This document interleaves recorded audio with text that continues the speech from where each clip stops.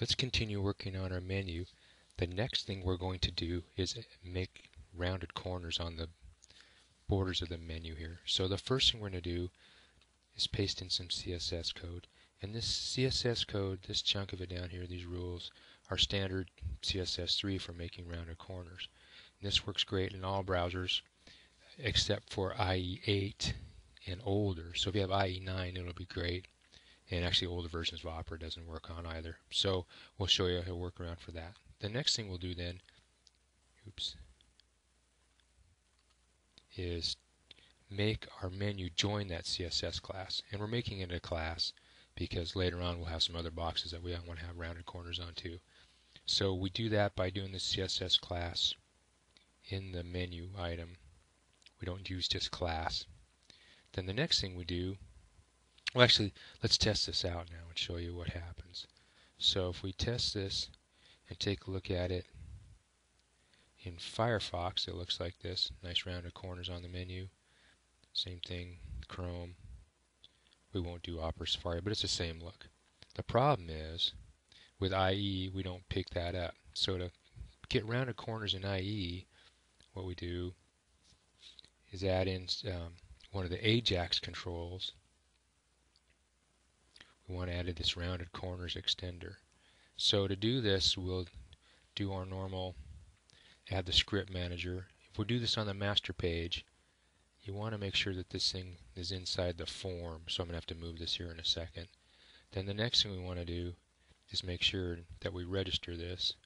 So I'm just putting this kind of standard line up here. And then the last thing we'll do is add in the, the Ajax rounded corner extender. And the thing we want to check here is make sure our target control ID is set to menu 1 and we'll see our radius here. The radius works a little bit different than it does in the other radius, um, but we'll check this out in a second. So the last thing I want to fix here, there's actually two things I want to fix. I'm going to fix the script manager needs to go inside the form, so I'm just going to put it here at the very start of the form. And then the other thing I'm going to do is fix this class name. You shouldn't have dashes in your class names.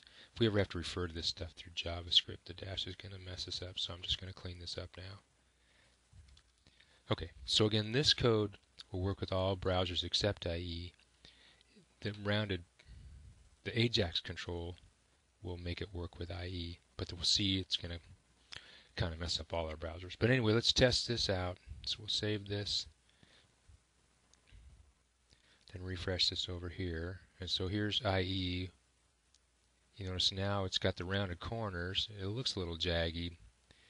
And you notice also it messes up our menu. So we have to change some colors on our menu to make this palatable. And then let's go look at our other browsers just to make sure. So you notice it's kind of changed the height and it's made it that less pretty rounded corners here as well. Um, and same thing in Chrome. So Chrome it's even worse with the size. It's messed up. Anyway, we'll come back and fix this. Or what you might do, and I'm kind of tempted to do this too, is just use the CSS one and say we're just going to have square corners here in IE because this is just really not looking as good as the other. So anyway, we'll end this one, the first part of the rounded corners.